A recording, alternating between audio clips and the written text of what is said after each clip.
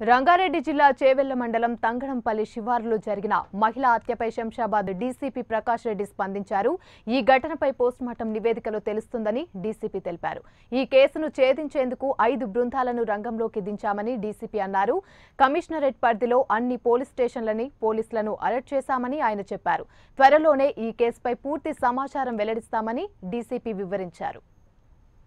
Highway పైన under bridge కింద ఈ మహిళ మృతదేహం లభ్యమైంది.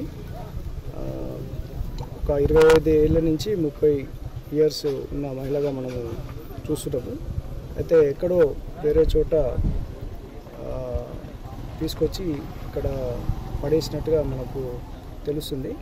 అయితే ఐడెంటిటీ ఇంకా తెలియాల్సి ఉంది. చుట్టుపక్కల ఉన్న అన్ని పోలీస్ స్టేషన్స్ని కూడా వికారాబాదు సైబరాబాదు తర్వాత రాచకొండ హైదరాబాదు అన్ని పోలీస్ స్టేషన్స్ వాళ్ళు కూడా అలర్ట్ చేసినాము. ఈ ఫొటోస్ కూడా సర్క్యులేట్ చేస్తున్నాము.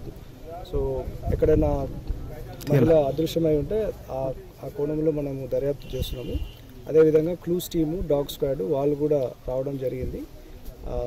క్లూస్ అన్ని కూడా కలెక్ట్ చేస్తున్నాము. ఆ, ఆమె ఒంటిపైన ఉన్న ఆర్నమెంట్స్ తర్వాత ఇప్పుడు మెడికల్ ఎగ్జామినేషన్ కూడా పంపించడం జరుగుతుంది.